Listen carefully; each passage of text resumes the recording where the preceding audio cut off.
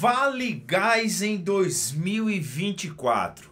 Isso mesmo. Vários de vocês estão me perguntando o seguinte: Dr. Jefferson, o Vale Gás deste ano de 2024 vai ser o valor de 100% o botijão de gás ou vai voltar para o pagamento de 50%?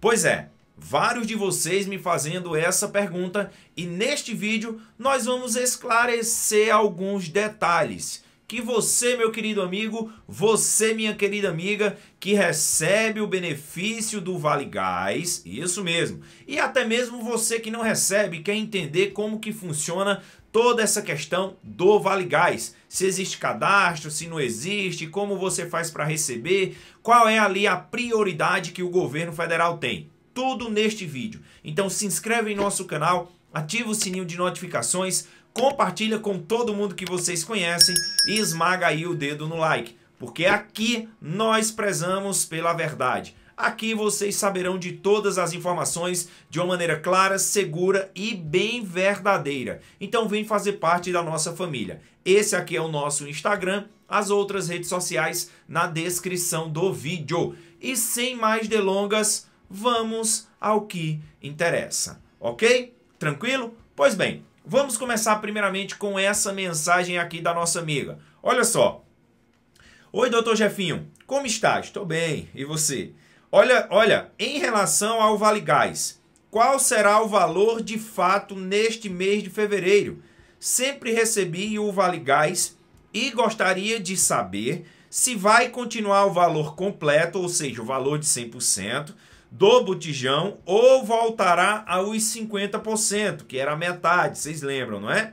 O senhor poderia nos explicar porque estamos com essa grande dúvida lá nos grupos. Show de bola. Tranquilo? Então vamos lá. Para que vocês entendam. Antes, no governo do ex-presidente Bolsonaro, que foi o presidente que criou o Vale Gás, ele proporcionava uma ajuda de 50% para alguns beneficiários. Então, muitos beneficiários do Vale Gás recebiam 50% o valor total do botijão de gás. Lembram-se lembram disso, né? Pois bem, quando o presidente Bolsonaro, juntamente com o presidente Lula, estavam em campanha, eles prometeram que iriam pagar o valor do botijão de gás em 100% caso viessem a ganhar as eleições. Lembram-se disso, não é? Pois bem, o presidente Lula ganhou as eleições, foi é o nosso presidente do Brasil hoje e com a aprovação de uma PEC, que muitos chamam PEC de transição, outros chamam PEC do estouro, foi ali onde proporcionou o aumento do Bolsa Família, que antes é, teriam ali a possibilidade de voltar para 400 reais, manteve os 600, como também o valor do Vale Gás, que iria diminuir e o governo do presidente Lula manteve o valor de 100%. Agora vamos entender todo esse contexto, porque aqui eu gosto de explicar desde o início para que você também compreenda tudo. Então vamos lá.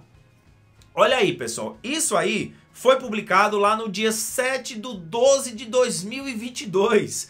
Pois é, onde diz PEC que garante o Bolsa Família de 600 reais e prevê nova âncora fiscal vai à Câmara. Ou seja, o Senado tinha aprovado e também futuramente a Câmara também aprovou essa PEC, que muitos chamam de PEC de transição e outros chamam de PEC do estouro.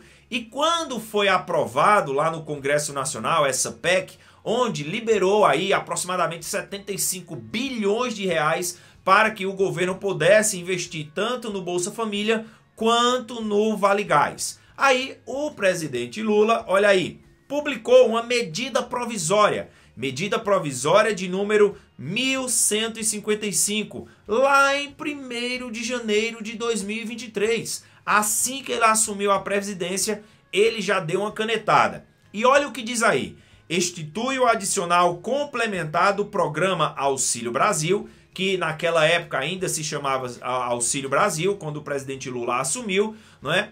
E voltaria para 400 reais. E olha o que institui aí essa lei. Adicional complementar de 200 reais. Pois é, do programa Auxílio Brasil, e do programa Auxílio Gás dos Brasileiros. Então, nessa medida provisória, a, quando o presidente Lula assinou, manteve o valor do Auxílio Brasil, que hoje é Bolsa Família, em 600 reais, como também manteve mais 50% do Vale Gás, deixando ali o Vale Gás em 100% o valor do botijão de gás.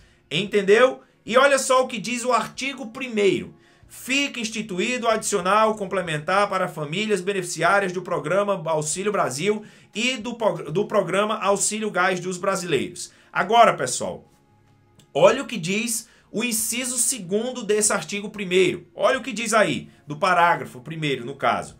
No parágrafo, no pagamento bimestral do valor monetário correspondente a um adicional de 50% da média do preço nacional de referência ao botijão de gás de 13 quilos, de gás liquefeito, de petróleo, estabelecido pelo Sistema de Levantamento de Preços, a, o SLP, da Agência Nacional do Petróleo, Gás Natural e Biocombustível, a ANP, nos seis, é, nos seis meses anteriores às famílias beneficiárias do Programa Auxílio Brasil do, dos brasileiros, instituído pela Lei 14.237 e por aí vai. Então, essa, essa medida provisória assinada pelo presidente Lula, ela quis dizer o seguinte, olha, nós vamos manter o Bolsa, o Auxílio Brasil em 600, como também vamos colocar mais 50% no botijão de gás, onde vocês passariam a receber 100%. É tanto que lá em 2023 vocês receberam o valor completo do botijão de gás. Começou em 102, 115, aí foi para 112, foi caindo, terminou ali em 104 reais. Não foi mesmo lá em dezembro? Acho que acredito que foi 104 reais. Agora, muitos estão preocupados por conta desse parágrafo 5 Olha aí ao lado o que diz o parágrafo 5 da medida provisória. O adicional complementar terá caráter temporário e será pago até que novo programa venha substituir o programa Auxílio Brasil e o programa Auxílio Gás dos Brasileiros. Então vamos lá. Essa medida provisória ela disse o seguinte: olha, quando for criado um novo programa, essa medida provisória aí, que deixa os 200 reais, que deixa o valor do Vale Gás 100%, ela não vai mais valer, porque nós vamos criar outra lei. Isso aí está no parágrafo. Aí muitas pessoas ficam preocupadas porque diz o seguinte aí, que será de caráter temporário. Agora presta atenção. O presidente Lula, juntamente com sua equipe e o Ministério do Desenvolvimento Social, criaram o novo Bolsa Família tiraram o nome do Auxílio Brasil e criaram o novo Bolsa Família. Com a criação deste novo Bolsa Família, o presidente deixou o valor de 600 reais do Bolsa Família. Está lá estabelecido na lei do Bolsa Família que o valor será de no mínimo 600 reais e ponto final. Valor do Bolsa Família, 600 reais. Aí fica a questão, certo? E o Vale Gás? Será que o Vale Gás vai ser pago é, com o valor completo também em 2024, porque várias pessoas também me mandaram dizendo que aquela medida é, provisória do presidente Lula, ela caducou, ela perdeu a validade, e de fato perdeu a validade. Olha essa matéria aí que foi publicada pela UOL. Vejam só, no empurra-empurra, seis medidas provisórias de Lula caducaram. E olha aí embaixo que está no vermelhinho. A medida provisória que determina a manutenção do valor do Auxílio Brasil em 600 reais, e um acréscimo de 150 para o Auxílio Gás, já não é isso aí, tá? Já não é isso aí, mas me mandaram. Medida provisória 1155, aquela que nós vimos anteriormente, foi editada no dia 2 de janeiro. A expiração do valor para o Auxílio Brasil foi inócua.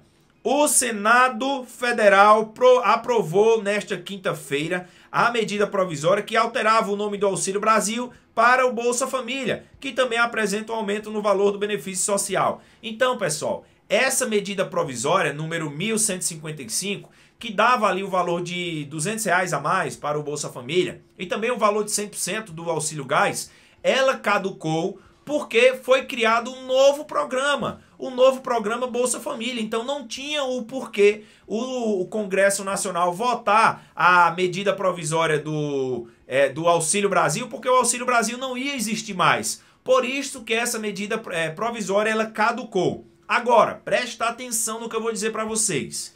O que vocês querem saber, de fato, será mesmo que o Bolsa Família, que o Auxílio Gás vai ser o mesmo valor em 2024, o valor de 100% o botijão de gás, nós questionamos isso para o próprio ministro Wellington Dias. E ele confirmou que iria manter o valor de 100%. E ele ainda disse mais: não, nós, a nossa intenção é sempre de melhorar o Bolsa Família, em especial também o Vale Gás. Então, segundo o ministro Wellington Dias, o valor do Vale Gás neste ano de 2024 permanecerá 100%. Vejam aí onde ele fala em um pequeno trecho. Olha só. Agora, ministro, uma pergunta também que muitas pessoas estão fazendo em relação ao Vale Gás. É, infelizmente, todos os dias eu recebo mensagens dizendo o seguinte: Doutor Jefferson, eu vi tal matéria, eu vi tal parlamentar dizendo que o Vale Gás vai acabar para o ano, isso, aquilo, outro. É, o que eu queria perguntar para o senhor: o Vale Gás, ele vai continuar sendo pago para o ano? Qual vai ser o valor aproximado? Se vai voltar para os 50% ou se vai manter aquele 100%? E outra coisa, como a pessoa faz para receber o Vale Gás? O Vale Gás vai continuar, tá certo? Primeira coisa, já está no orçamento, o presidente Lula, ele quer melhorar, não é piorar, tá certo? Então, vejam, e agora a gente faz ali, uh, esse ano, é, 562 milhões de reais que o governo do presidente Lula pagou para garantir o auxílio gás para as famílias né, que é, preenchem esse requisito. E agora, é, para o próximo ano, nós vamos atualizar o valor, tá certo? Então, eu digo a você é, que é muito importante o seu programa, o canal do Jefinho, porque faz as pessoas saberem do seu direito. Sabendo do seu direito, aí é que você acessa. E é assim que a gente faz a cidadania. Então, ministro, o Vale Gás permanece o ano que vem? Permanece, permanece. O, o, valor de 100% do botijão de gás? Não tem, não tem. Aí, assim, a oscilação, ela tem a ver com o preço do botijão. Isso. Tá certo? Agora, presta muita atenção no que eu vou dizer para vocês que ainda não recebem o auxílio gás. Jefferson, como eu faço para receber o Vale Gás? Pessoal, não existe nenhuma inscrição. Você não faz nenhum cadastro para receber o Vale Gás. Não, não. O que só precisa é você estar lá no cadastro único. Está, está ali inscrito no cadastro único, com tudo atualizado.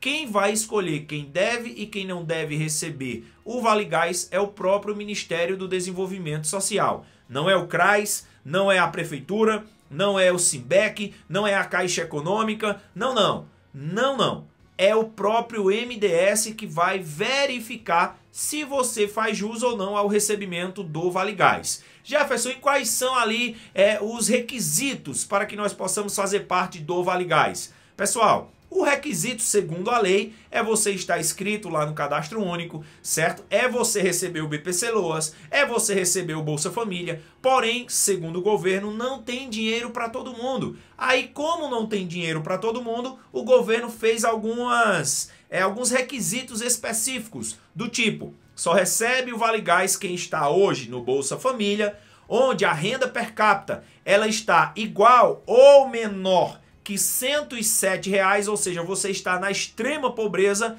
E também presta atenção, a sua família é tem muitas pessoas na sua família, são vários membros, filho, filhas, esposo, esposa, muitas pessoas no mesmo cadastro. Ah, Jefferson, mora, mora só eu e meu filho, só eu e minha filha. Será que teríamos direito? Não, o governo vai. Direito tem, não é? mas o governo está dando é, é, prioridade a essas famílias mais numerosas e famílias com uma renda per capita abaixo da linha da extrema pobreza.